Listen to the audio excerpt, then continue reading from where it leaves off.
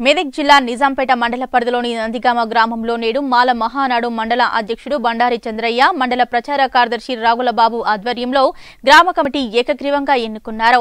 గ్రామ కమిటీ గౌరవ అధ్యక్షులు బిజ్జాస్వామి అధ్యక్షులుగా రాగులస్వామి ఉపాధ్యక్షులుగా బోడి స్టీవెన్ ప్రధాన కార్యదర్శిగా బిజ్జా శ్రీకాంత్ కోశాధికారిగా శ్రేయ దయాకర్ సహాయ కార్యదర్శిగా రాగుల ప్రశాంత్ ప్రచార కార్యదర్శిగా రాగుల నవీన్ సంయుక్త కార్యదర్శిగా బిజ్జా కృపాకర్ మీడియా సెక్రటరీగా నవీన్తో పాటు కార్యవర్గ సభ్యులను ఏకగ్రీవంగా ఎన్నుకున్నారు.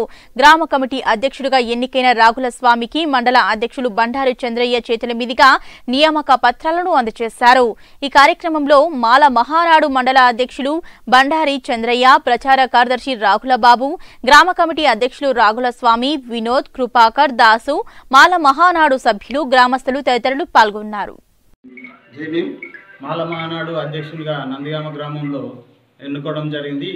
నాకు ఈ యొక్క ఎలక్షన్లో ప్రెసిడెంట్ పోస్ట్ ఇచ్చినందుకు అందరికీ సభ్యులకు ధన్యవాదాలు తెలుపుకుంటూ నేను ఎలాంటి అవతకాలు జరగకుండా మన సంఘం కోసం పాటుపడతానని ఇందుకు సపోర్ట్ చేసిన మిత్రులందరికీ సభ్యులందరికీ హృదయపూర్వక ధన్యవాదాలు తెలుపుతున్నాను.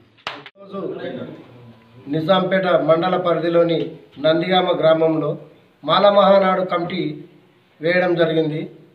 కమిటీకి అధ్యక్షునిగా ఆగుల స్వామిని ఎన్నుకోవడం జరిగింది. రాష్ట్ర ప్రచార కార్యదర్శి రేకం శ్రీరాములు పిలుపు మేరకు ఈరోజు కమిటీ వేయడం జరిగింది. అలాగే మండలంలోని గ్రామాలలో ఈ నెల ఇరవై తారీఖు వరకు గ్రామ కమిటీలు ఏర్పాటు చేసి ముప్పై ఒక్క తారీఖు నాడు హైదరాబాద్లో జరిగే మాల మహానాడు ప్లీనరీకి అధిక సంఖ్యలో ఆ కార్యక్రమం మాల మహానాడు ప్లీనరీ కార్యక్రమాన్ని విజయవంతం చేయాలని మండలంలోని మాలమహనాడు సోదరులందరికీ కోరుతున్నాను. ఈ నెల ఇరవై ఏడు నాడు నీలి పండుగ కార్యక్రమం జరుగుతుంది. అందరూ ప్రతి గ్రామంలో నీలి జెండాను తెలంగాణ మాల మహానాడు జెండాను ఎగరవేయాలని కోరుతున్నాను.